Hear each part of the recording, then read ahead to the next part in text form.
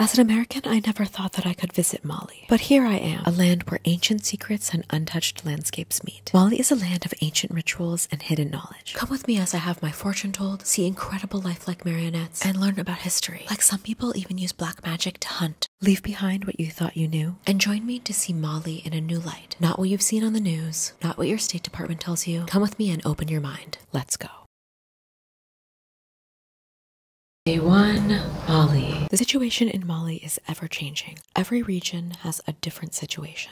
And while there are some rebels in the north, Bamako is extremely safe. What I didn't realize is that the south of Bamako is also very safe. Essentially, we could have taken public transport to go to the south, but I didn't know this. So we decided to hire a driver and a local day guide. Little did I know this guide would make our trip. Okay, we're starting off our first day and we're heading to Siby. It's gonna be about a two hour drive and it's starting to get very green. When I pictured Mali before, I pictured desert. And that is definitely what the north is. But the south of Bamako is incredibly green, especially because we are on the tail end of the rainy season.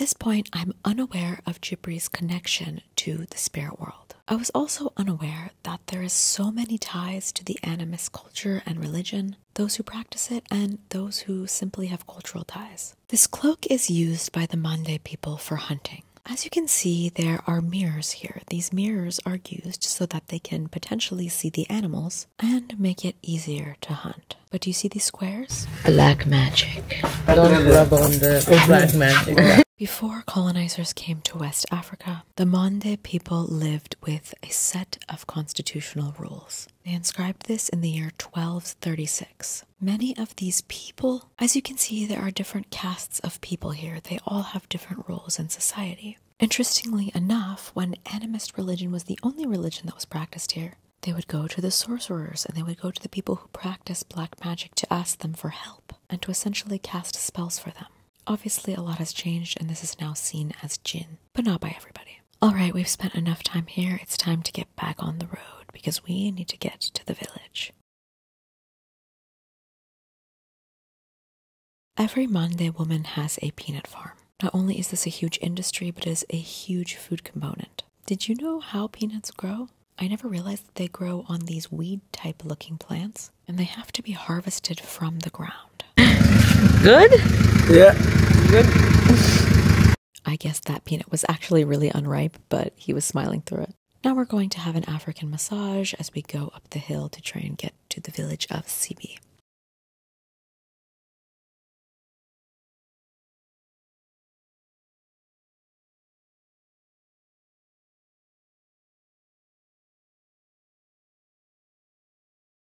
Okay, I haven't seen one of these in a long time. This is an ashtray for all of you Gen Z kids that have never seen an ashtray in a vehicle. We're about to hike up to the arch. Let's go. Please tell me why, as soon as we started this hike, I immediately fell. Should we watch that again? Boom. Okay, let's get back on track. So, as I mentioned, at this point, I had absolutely no idea that we were going to have our fortune told. I had no idea that Chibi was connected to the spirit world as he is. But we started to get some clues. I'll get to that in a few minutes, though. This hike is to get to the Arc de Kamadjan. It's not a difficult hike, but it is very well known because the caves above are known to have spiritual powers. GB carries this gourd with him everywhere and he's picking up some water.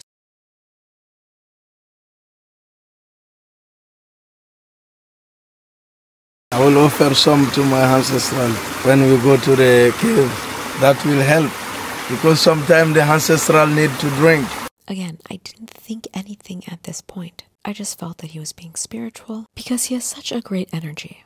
All of a sudden, he began to sing.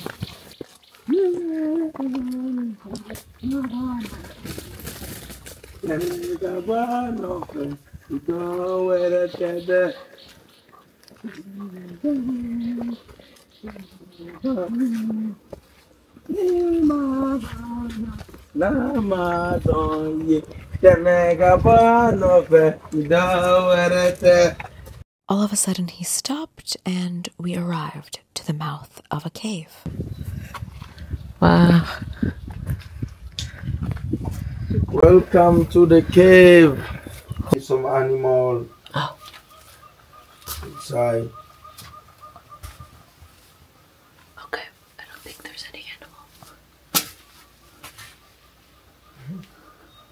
Basically, Jibril was warning me that there might be animals in the cave and I need to be careful. And although I felt pretty confident, I also got a little bit scared. So I got out of there pretty quickly. But this cave is so impressive. Do you see all of those lines and layers of history? Let's continue on because we actually need to get to the Ark.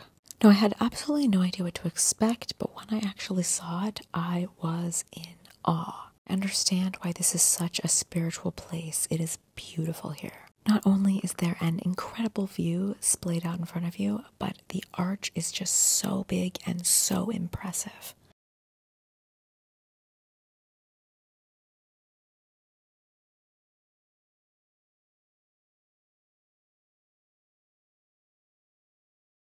Jibi now said it's time to give water to the ancestors.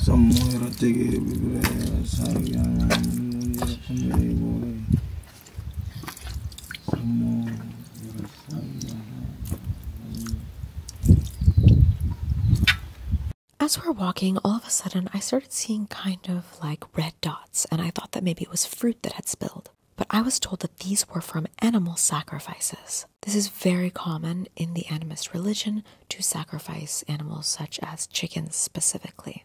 You're not supposed to step on these areas, but they are specifically supposed to go on the road when someone wants to basically secure their journey and make them have a safe journey. Okay, but look at this cave. It is really just incredible and awe inspiring. It really feels like it's something out of Indiana Jones. That's all I can really describe it as. I mean, look at this. It looks like a Raiders of the Lost Ark set, or even something similar to the temples in Cambodia that are carved out at Angkor Wat. However, all of this is completely natural, carved away by water dripping over and over and over again. Now let's explore the cave a little bit.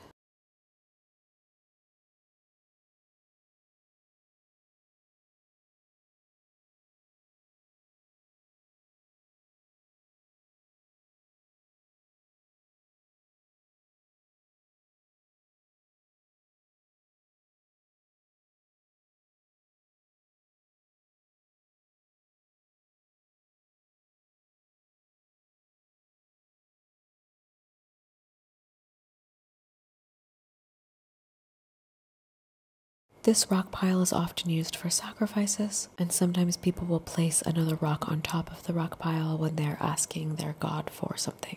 Now, at this point, I had no idea what Jibril was doing, but he decided to clear off this area. He had told us the story of the fox table before, letting us know that this is something that is done in Dogon country where he's from. After cleaning off the area, he went to grab some dirt from a random place in the cave. This is the process of setting up the fox table to call the ancestors.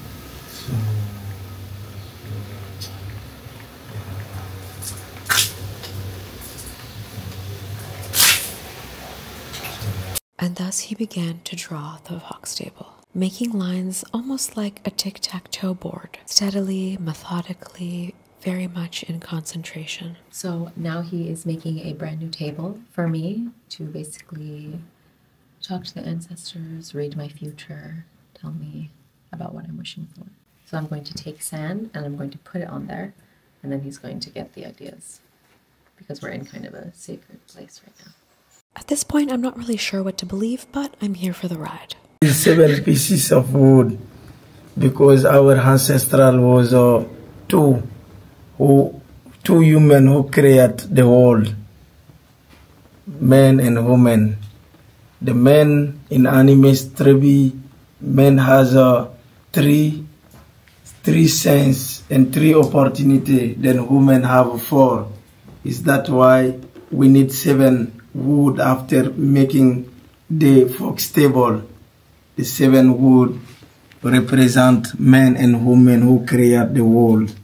It is really nice to see a representation of women in some type of religion and being equal to or more than than the men. The fox table is drawn and I'm grabbing the dirt. At this point, I'm kind of freaking out in my head because I have no idea what I'm supposed to wish for. But as I threw the dirt, something came to my mind and I wished for the best. Let's see how this goes. I'm really not sure what to think right now. So at first the fox table said you are good healthy. I did wish partially for good health, and I was kind of like, okay, we're starting off a little slow. Let's see where this goes. And there is a part of our family people who are thinking about you now because you are traveling far away from home. This might seem basic to most people, but I definitely know that my mom was thinking about me because she always gets kind of stressed right when I leave. And you talk about your parent. I don't know his mom or father who are uh, thinking about you a lot now. Like I said, getting a little bit more eerie. Said there is your ancestral who need uh, you need some offer from you. Yeah, something to drink. It can be a water or milk. When you get to to put somewhere in the ground who are dry. Yeah, okay. Yeah. The water bottle. He said you have a long I don't know why, but Dilara stopped filming, but he was saying that I am going to have a long life, and this is something that I really also believe. I also really hope, of course. said sometime also you have dream. Don't know if it's right or Yes, it is right. I have a lot of dreams, and I always have. Sometimes you dream when you you you, you sleep. I think we all dream, no? Yeah, but not often. Some people some people have dream but very uh, very less, I think. Can you see how I'm contemplating my life and just trying to avoid it being totally true? Okay, I just need to give in. Sometimes you always think about something who was very difficult for you. You think a lot sometimes about that. Not me staying up all night sometimes, stressing about conversations that I've had with friends. Is that anxiety or is it part of this prophecy? I don't know. and some white uh, white color nut and to sacrifice that. And when you do that you will see very soon things will work very well. And also when the things start to be working you have to find a milk and give to some people. It can be in africa or even europe. If you don't find the poor people you can even buy milk and say all your wish and give to someone who are close to you. Now, this is what I need to do for the prophecy to become true. However, I didn't record the most important part. And he said, I have a hater that doesn't want me to be famous. He said it's someone close to me, he said it's someone that I wouldn't expect. And now maybe he's not really talking about fame, maybe he's just talking about some type of notoriety, having followers, but he doesn't even know anything about my following. And believe me, I'm not saying I'm famous, but you know what I mean? Maybe things like that can be misconstrued. I don't know. Anyways, now it's time for Dilara's fortune to be told. Little bit son, you can say what you want, or you can live here, and I can communicate. You have good heart, and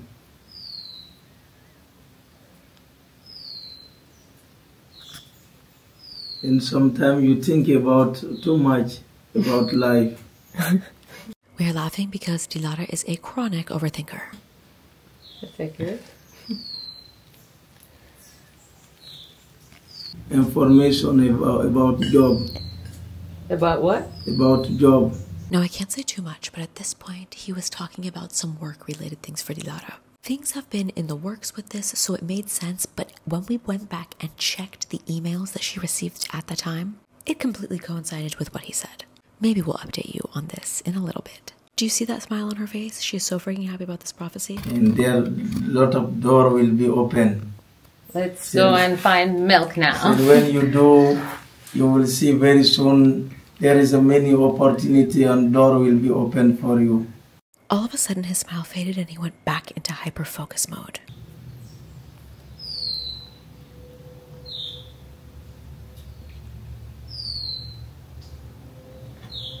tajara yawbani somo mi yara peppa boy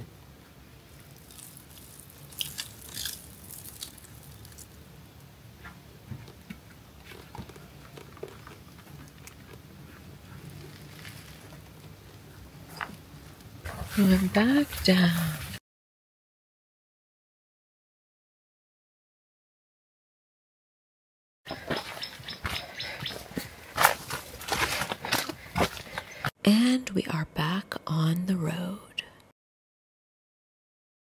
Along the way, there are incredible views, like this waterfall just casually outside my window. Now we've just reached a village in Siby. We're welcomed with some traditional Malian tea, and this is where we're going to be staying for the next few nights.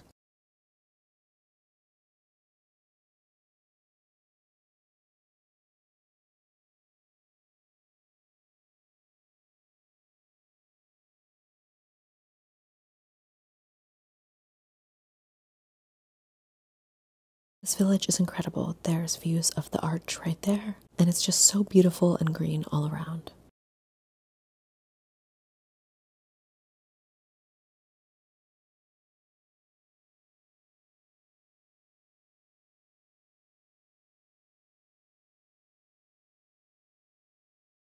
I'm just taking a quick peek because we're about to have lunch and it's looking good already. There's some music playing, and Gibi is the life of the party as usual. While we wait, we're trying some of these local peanuts. They actually call them ground nuts here. Sabani. There is three three nuts inside. We call sabani. Sabani. Yes. But now it's time for lunch. These are the grounds of where we'll be staying, and I'm just following her out to the table. But it's so peaceful here, it's very serene, and I can't wait to eat. This is a salad dressing that we're having over the freshest vegetables. There's actually mustard in the dressing, which is a recipe that was brought over by the French a long time ago. Now look at these gorgeous vegetables. They are so sweet, so fresh, and this bread is very, very good. Homemade, of course. This is local couscous that grows here with a very pretty garnish on the top. And for the main course, we're having a tomato stew. This has a bunch of different vegetables in it, some oil, some red pepper there on the side. Can't wait to try the spice. There's also some potatoes and cabbage in here. It's actually very healthy. After a tasty lunch, it's time to explore where we will be staying tonight. It's super clean and it's very insulated, so it's not super hot in here, even though it's definitely pretty hot outside. It's made from brick, there's two beds in here actually, and a very comfortable mattress. There's also a mosquito net on the top that we'll put down a little bit later. I thought the piece of art was a very cute touch, and we're definitely gonna need that fan. Now, I'm extremely excited because there is a mask dance performance going on today. As you can see, all of the children of the village have gathered there, and the first mask dancer starts to come out.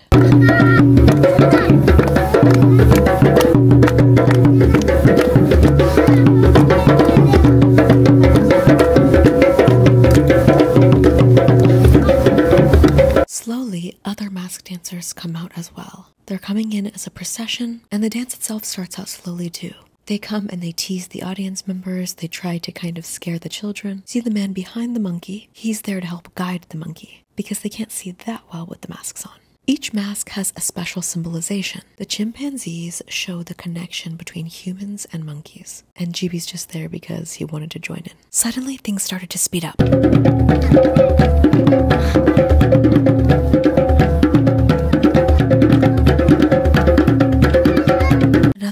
Came in from the side. This one looked like a sheep and is known as the mother of the mask. They make the beer from millet. The kids seemed to be enjoying it, except there was one little kid who got scared and started crying. And then all of the mask dancers were dancing at once. This big faced dancer is the father of the mask.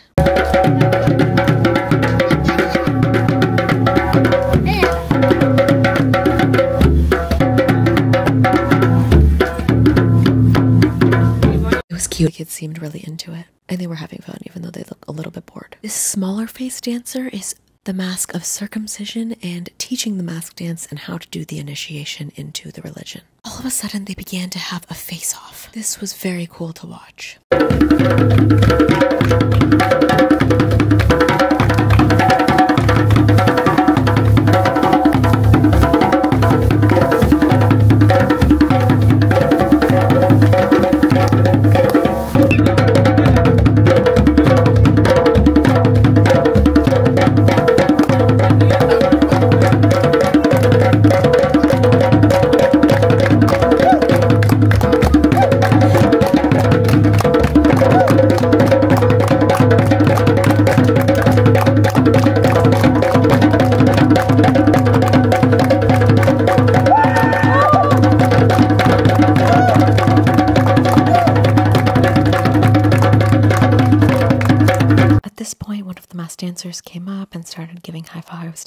Kids, and they were very involved. I love that this dance incorporates community so much. And then, of course, it was time to incorporate us. I was trying so hard to copy the exact movements, and of course, I look absolutely ridiculous. But now it's time for Dilara's turn.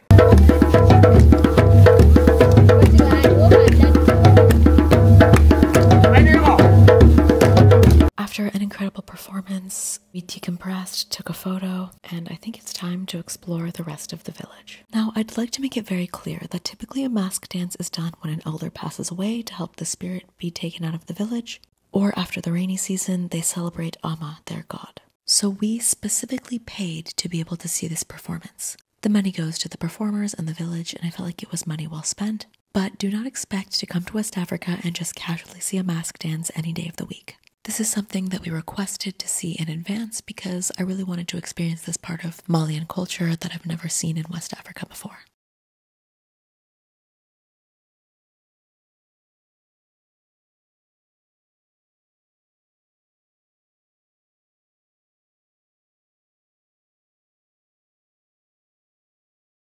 Siby is an area of Mali that has 21 villages and a total population of a little bit under 30,000 people. But we are only exploring one of those villages today. There are a lot of goats, as this is one of the main food sources for people in Siby goat, chicken, lamb, sheep, as well as the various fruits and vegetables that are grown here. In this village, the houses are painted, and this is called Bogoja. The different symbols mean different things. So all those have meaning also. They represent family. Some represent uh, the member of family. Some represent how is uh, how many home wife the man has it. They have all this meaning on the family. This represent family. So cousin, brother and sister.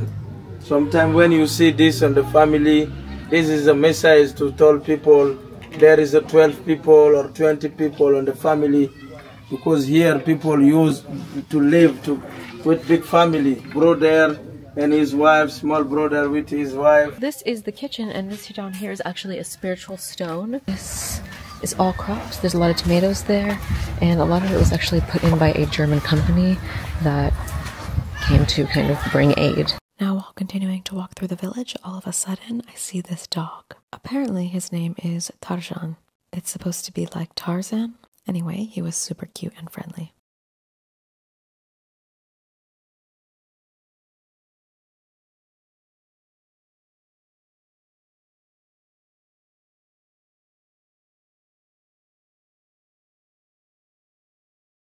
This blue contraption actually helps to take the peanuts and separate them from the shell. Peanuts are a huge industry in this part of Mali, which brings me to our next destination, which is actually a co op where they make shea butter and peanut butter. It is 37 women who work here, and this is the first step. The peanuts are roasted over the fire and then it's removed. After the peanuts have been roasted, the women then need to separate the peanuts from the little membrane on the outside. This is actually pretty tedious work. This is done by flipping the peanuts up and up in the air. This separates them from the membrane, and then they're separated into two separate piles. But in order to make peanut butter, they need to be put into this machine. Now, this machine is definitely very old, and it scared me a little bit. It took quite a while to get it started, and it definitely seemed really dangerous.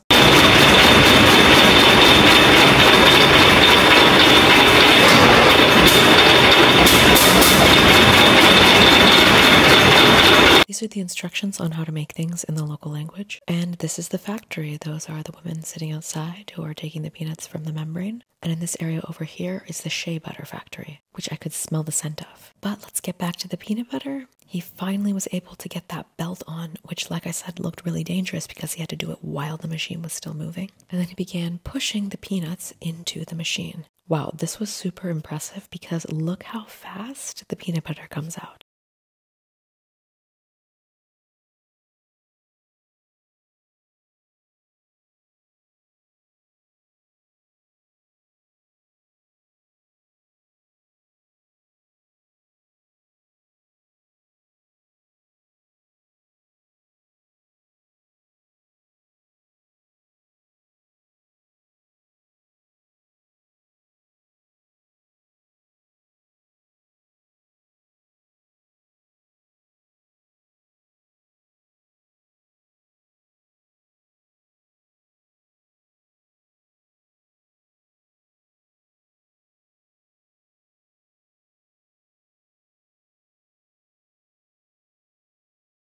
They sell this tub of peanut butter for 12 US dollars, which, yes, it does seem very low, but that is just the price that it is here. Imagine how much this would sell in the United States for. Probably $50 maybe. They do export peanut butter, but I don't think to the United States. These are all of the shea butter products, and we definitely got some soap because shea butter soap is amazing and so hydrating. Now, I wanted to show these different grain storages here because if you can remember in Niger, I learned a lot about different types of grain storage. Here are two different versions. They're mainly made with clay on the outside, but I thought it was cool to see how they store grains here, and it is a bit similar to Niger. One of the last people that I am meeting on my little trip through the village is this weapons maker. So he makes different weapons. If you can see, it's kind of a slingshot, but they call it a village gun. Anyway, night has fallen and now it is time to make dinner. We will be making dinner with a few of the women that live here, and I'm really excited to learn how to make a specific dish that is made from peanuts and peanut butter. We're going to learn how to make peanut sauce. I've only had Asian peanut sauce. I've never had African peanut sauce, so I'm really excited to try this. So first we have these coals to cook with and we're going to take hot coals and put them on those coals in order to make them burn so we can actually use them. This family has charcoal, but it's not incredibly common in all of the villages here in Mali. So we're actually lucky that we have this because it is going to make cooking a lot faster. Peanuts. Peanut butter. Peanut butter. So that peanut butter that we saw today is in here and we're adding water and then we are just cooking it down for a while. One thing that we noticed while we were cooking is that the women have babies on them. They're reaching over the fire and everybody's totally fine. But in the US, parents are so overprotective of their children a lot of times. But these women are just fearless. It's so impressive. Huh? How many pieces? Like small? Yeah, you can do small as you can.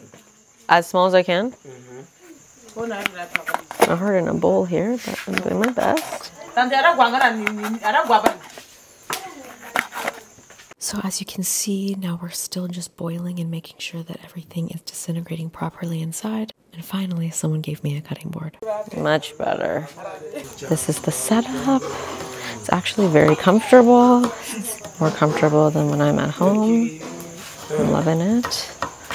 So this is the cycle that we're doing with everything. I'm chopping it and then putting it inside the boiling water. Everyone is telling me how many spices to put in. Huh? Oh. Uh. Oh, trois. Get it? Wa. One. One. Only one. Vabbè, non te. Non te Oh? Oh? We have to one little A lot of pepper.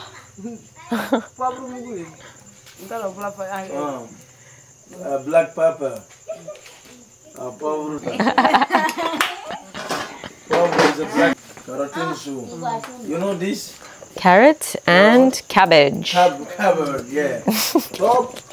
This really embodies what the night was about, just laughing and having a good time. And now we mix it all together and we let it simmer. Sumbala. Sumbala? Yeah, Sumbala is from Nere, Yolakala. Like that? What is it? I don't know, smells like sumac. Sumbala is uh, from Nere. This is it spicy? The sheet. The sheet of Nere we dry and we pound it. It's very nice. Um, don't recommend eating it this way. Yeah, when you, it's very healthy. Very healthy. I was expecting something. Oh, It's good. Lamaga. Lamaga, lamaga. Faster, faster. Lama, faster man. Lamaga mean Bigger. mix it. Mix it. Yeah. Right. Not top, top. Ready. Now, because quite literally everybody is watching my every move, I'm really trying not to mess it up. I'm doing things slowly and meticulously. Okay, we've now taken off the peanut sauce, putting the rice on there. You know, kolosika ni agana bonde. This is a mix of garlic and peppers, and it smells so, so good. All? Yeah, all, you put all. And just like we've made our rice and we've made our peanut butter curry, which is called tigadege. This is such a tasty meal. It ended up taking us about two hours. Dinner was great. Now we gotta do a bucket shower and get to bed because we have to wake up early, of course. Good morning. We just woke up here. Looks great today. Oops. We're starting off preparing our breakfast over this little stove. This is the bread. It's the same homemade bread from yesterday, and it's so yummy. I can't wait to taste this. I thought it would be fun to fly the drone just so we could get a little bit of a look of what is around us here.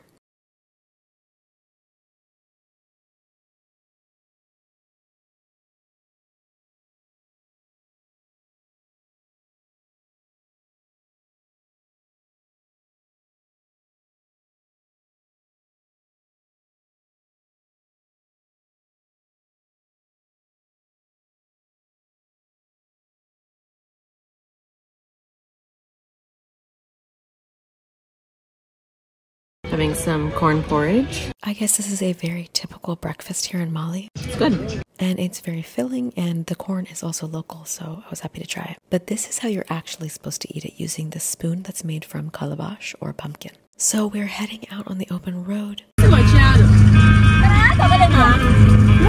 There are some women who are selling some fruits and some vegetables, so we're buying some as we drive by. This is actually melon. If you can remember the mask dance that we just saw, those masks are very popular for people to hang in their homes and all have symbols. So we are heading to where those masks originate. This is a mask factory of sorts. Those white ones will be painted with colors, and they actually export a lot of these masks. Many of them are sold to South Africa specifically. And what I find interesting is that in South Africa, these are sold to tourists and to anybody who will buy them, but they're marketed as South African masks when in reality, South African culture doesn't necessarily have masks. So that's something to keep in mind when you see masks, that they may just originate in Mali or another West African country where masks are actually a big part of the culture. But I'm super excited to be here because I really wanted to get something to remember my time in Mali. These masks are incredible. I love all the colors. I love all the different symbolisms and meanings and shapes. It's going to be really, really hard to pick something from all of these different options. That's the one thing about traveling is that you see so many cool things and beautiful artwork, but you can't take everything home. I mean, look at this mask. Look at the creativity and the craftsmanship. It's just beautiful. And who would have thought that most of the masks that you see on the side of the road being sold or at different markets actually come from this little workshop right here? So, like I said, it's pretty hard to choose something. I do love these colorful masks. However, I don't really think that it will look very good in my house just because we do have kind of a central theme of blue turquoise in the home and then wood.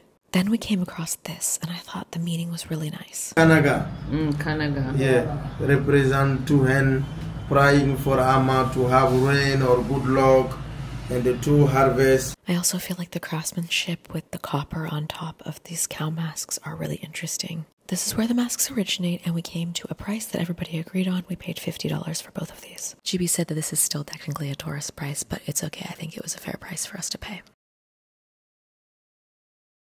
Today we are visiting a very interesting village in Kulikoro. Islam is one of the main religions in Mali today, but not everybody practices Islam as serious as the people we are visiting. The floors are draped with cow skins, but we're actually inside of a cave, and this is considered to be a mosque. It looks as though it's perfect to be a mosque. The ceiling is beautiful, and to the left over here are all of the tablets that the children learn to write Quran on.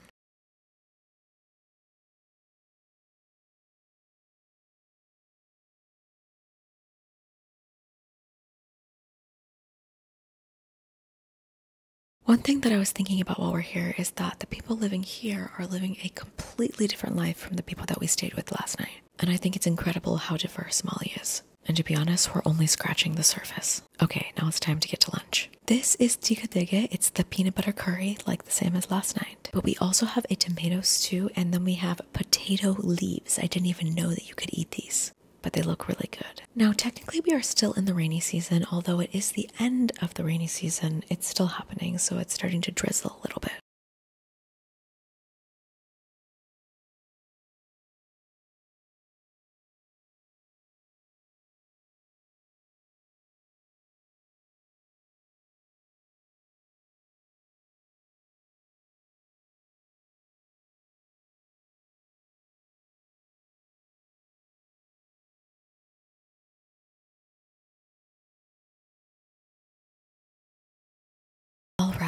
On another episode of A Day in Mali. Wait, actually, we're still in the same episode because everyone requested I do one long video. So this could have been the second or the third video, but instead, we're here in the same video, and I hope you're still watching. This is Compagnie Nama. It is a really cool organization that is based in the arts. See this pretty cool sculpture that they made out of old car parts? But they do more than just make sculptures like this. This is a marionette workshop. Now, when I first heard of marionettes, I was like, oh, that's kind of boring. But these marionettes are very different from the other ones that I've seen before. So we're getting an inside look on how they make the marionettes and what they do with them. Essentially, it is an after school activity so kids can join, but if they come and live here, they don't have to pay for it. And then they can travel around the world and showcase the dancing. I thought these were going to be totally different type of marionette, and I am super impressed. These are so cool. Now, there are a ton of different marionettes here. I mean, look at the variety. There are the big heads, there are the skinny ones, but nothing could have prepared me for how they actually wear them and how they do the dance. It was almost a little scary because it's so lifelike, but obviously not at the same time. These marionettes were kind of born out of the idea of the mask dance. They also create those costumes here as well, but these marionettes are basically a modern version of that that allow people to express themselves creatively. I thought the creativity with this one was absolutely amazing. I mean, look how lifelike the face is. The attention to detail is just incredible. It was really cool to visit here, and I'm so glad that this place exists because it's definitely a haven for children and an amazing creative outlet. Now, I want to use this time to talk about the conflicts going on in other parts of the country, such as Timbuktu. This man is from Timbuktu.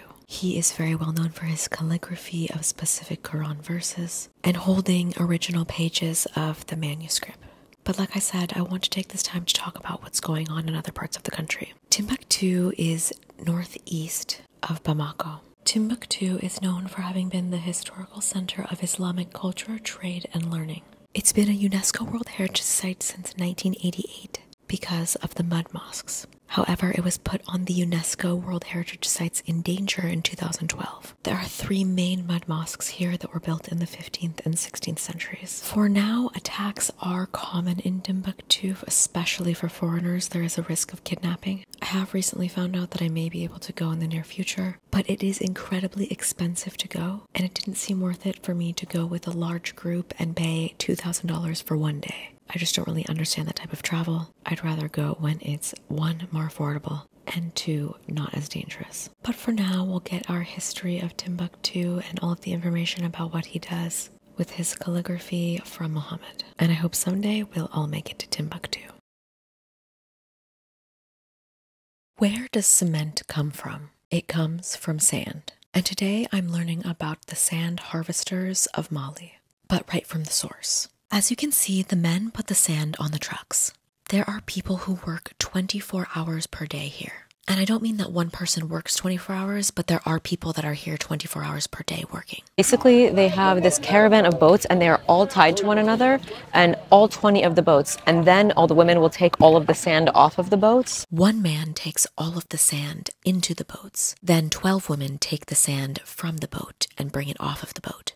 They try to do seven boats per day, getting 1,000 CFA per boat, approximately $1.66, which means they can get maximum $11 per day. Many women bring their children with them, either strapped to their bodies or just sitting here alone.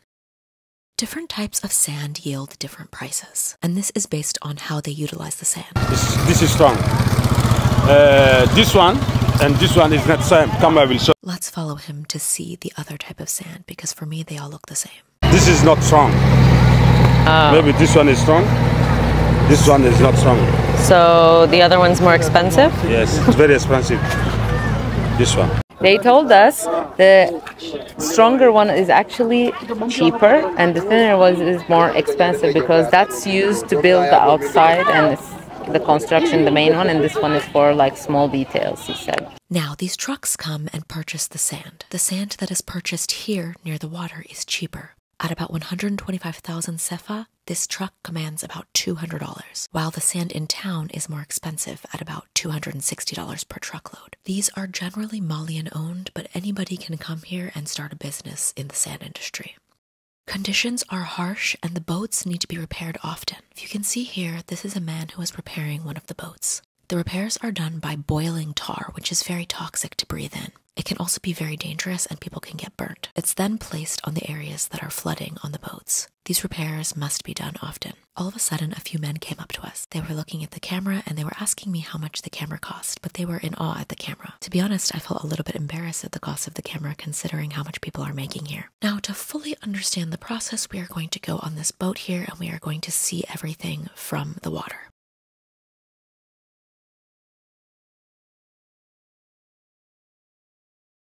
At first, I felt like this was fun. We got to go on the water and it was nice to see everything. But then the reality set in. These boats are used to transport people who have to work long hours. This is not a fun activity, and this is a very laborious and intensive industry that people are thrown into. And then something else began to happen we realized that the boat was somewhat flooding. Jibril said that this was normal and that people just had to take all the water out by using a scooper like this. So they transport tons of sand through these boats. The people sit on top of the sand while it floods. Does that not sound like some sort of hell? Moments like this really put things in perspective. Life is hard for so many people around the world, people who make such little money for very laborious efforts. But these people do some of the most important jobs in the world. Harvesting sand means that we can build buildings. Without these people, there would be no buildings. And that is the harsh reality. In some countries, sand harvesting has become even sort of a mafia activity, specifically because a lot of the countries around Singapore and the UAE have actually banned selling sand to them. So these mafias have been created because they need sand in order to build the extremely large buildings that they build. Just another thing in the world that we have to put in perspective. Now, if you can see these settlements here, these are actually underwater right now, but in other seasons, people come here and they live here. They come from places like Dogon and other parts of the country to work and make money. Again, it is tough work, but it is hard to find jobs that pay as much as these jobs do. Now, not only is it starting to rain, but it's starting to get dark as well, so it's time to get off the boat and head back to the shore. Now, I saw this woman out of the corner of my eye, and she was running with the sand on her head. Now, I'm just walking on a very similar plank here, and it's even difficult just walking. And then something happened. Going to attempt to carry sand. Let's see if I can do this. This stemmed from some of the women coming up to me and jokingly playing around that they were going to throw sand on me. And then they asked, Do you want to try? And I actually felt like this was a really good opportunity, kind of just to put myself in their shoes and see how it feels to be carrying the sand. I also felt kind of bad because I felt like I was in their way and they were literally running with the sand on their head. So I wanted to move quick. Wow. Walk look, small, small. Careful, eh? See your face. Ah, para acá, para acá. Muy. Okay, Don't worry. okay, come. If I'm being completely honest, as I was doing this, the guy who owns this area or is the leader of this area was cheering me on. And I saw women with babies strapped to their backs working. And although I know they kind of egged me on to do this in the first place, I felt so weird about the fact that they were working so hard with babies strapped on their back and this guy was cheering me on just for carrying one barrel on my head. So honestly, this made me feel kind of embarrassed because these women do such a difficult job day in and day out. They are truly superwomen and they're doing what they have to for their families. It's then time to leave, and I saw a gas station. I always love to compare gas station prices. At 850 CFA per liter, this ends up being about $2.47 per gallon. This might not seem like a lot to you, but in comparison to the economy, this is very expensive. Having said that, we also needed to grab some cash of our own before we headed to. Because of the French colonization, there are a lot of French based restaurants, and we didn't really pick this restaurant. But GB was friends with the people that work here, so we said sure, and they hung out with their friends while we ate. We had some salad and some plantains and some french fries, so this was a pretty good meal, although it's not very Malian. Okay, we're in Bamako. Let's go explore the city. First coffee. But first coffee. Many people consider Bamako to be a dangerous city because, for many people, Mali is a dangerous country. Now, while there is a lot of fighting in other parts of the country, Bamako is not inherently a dangerous city. So today we're here out without a guide and we're going to explore. Right off the bat, because there are not a lot of foreigners that walk around here by themselves, kids are naturally curious and a lot of people are In general, this just makes me feel very welcome and definitely a lot safer than I would feel I also thought it was really cool that there are lots of women on motorbikes riding by themselves. This isn't something that you see in every single country. Okay, but our goal now is to get to the coffee shop.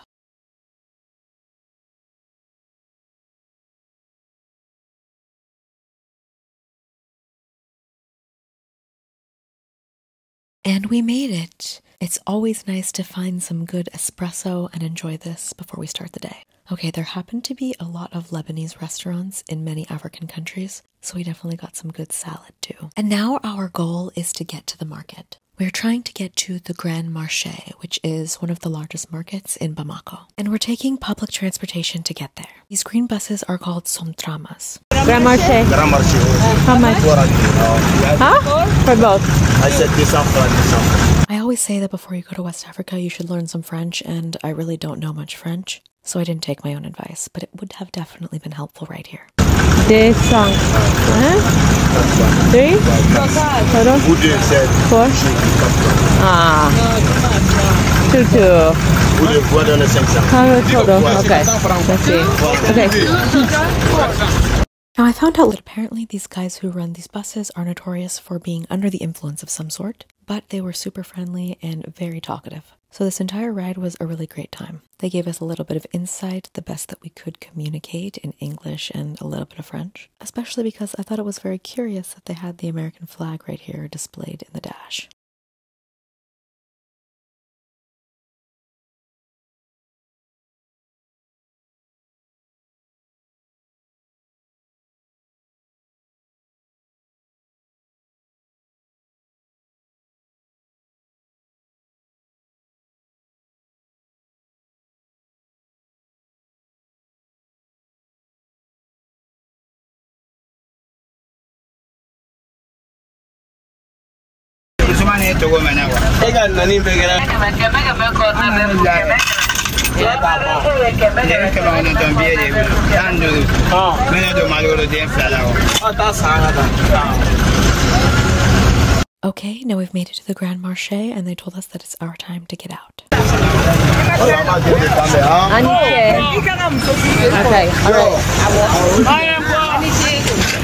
Immediately, we're met by sights and sounds. Everything is essentially chaos, but also working together at the same time. This is very common of a West African market. You can find anything and everything here. That is why I love to visit. For example, this woman getting her eyebrows done casually here, right next to where you can buy some clothing. It really shows you a window into a city.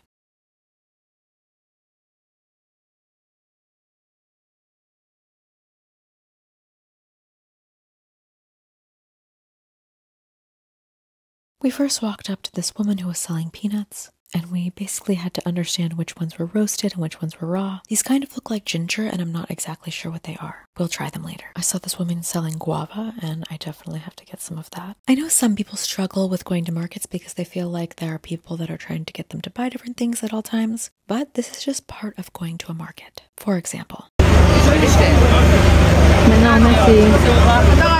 here you can see henna and indigo dye being sold.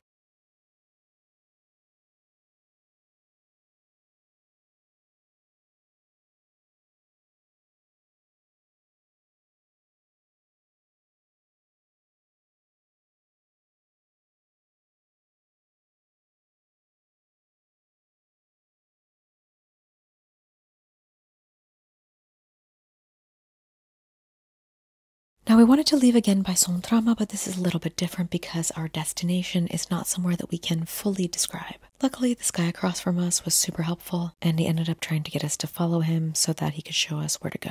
I always say that 50% of traveling solo is relying on the kindness of strangers. And now we're just casually walking through a neighborhood where there happened to be a lot of women and families. Although we have a 20 minute walk, this ended up being really great because we could chat with some of the people, and it ended up being a really great experience. Today is my last day in Mali. We're visiting Chibi's workshop. We need more sun because after the design we need to dry the, the stuff. He works with both new and recycled cotton to make sustainable clothing. These are some of the cotton before they're stripped of their color, but they also use mud and bleach to dye and create designs. Let's learn about it. After uh, collecting we keep like two days When the mud start to smell, that means it's good for design. This is a local shop. We use the local shop to make design. So here you can see that bleach is being used to dye on the black colored clothing. All of the symbols that you will see mean something. Many of them are extremely old and have been used for thousands of years. It's the place the people make uh, the, when they take shower with traditional medicine. After shower, the leaves of the medicine they go to put the because we, we live in Africa, the jinn, the meat, and in the crossing road, you know, the jinn, the devil, is there the meat, and when you bring the, uh, after taking shower of the medicine, when you leave the leaves there, and there is some spiritual come on, snake, snack way, someone who don't want to pay his debt like you borrow money from someone you this you saw this person are coming and you make like this you go to the other other road. And this talk about uh, wedding. A big family. They knew when you get married. You know when you go to honeymoon honeymoon you know we make plate like this and we, we eat there I thought it was really incredible that they're going to paint over this with the mud, but those designs will still show through and they have all of these processes to preserve the designs, but also to create them in a very specific way. And they've been using these methods for so long. I also love that they try to be extremely sustainable here and also give jobs to young people so that they can learn this craft. the meaning of this together is the best So, if that didn't make full sense, this symbol essentially means that being together is the best. I saw this one and I thought it was just incredible. I loved all the different colors. It's crazy that they're able to make this.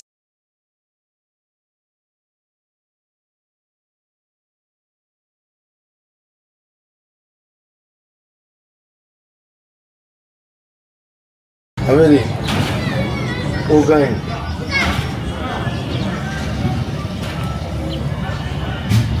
When you use those color, it's not like uh, as I told you. This is like snake way. Someone who don't want.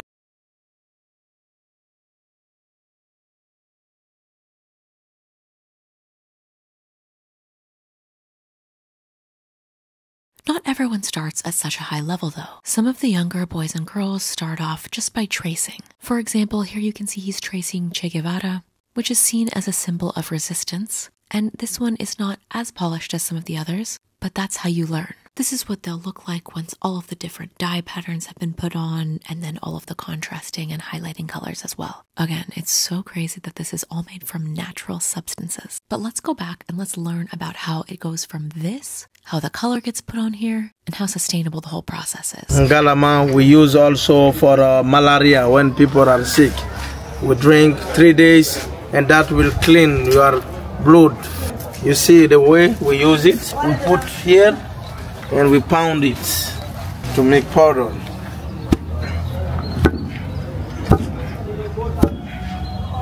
And this is what they use to dye the yellow fabrics.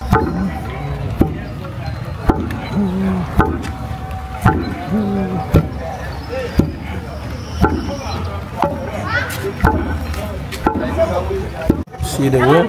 Then when we pound it, see we put to the box. After uh, 30 minutes, sometime 40 minutes, the water will start to come, start to become blood.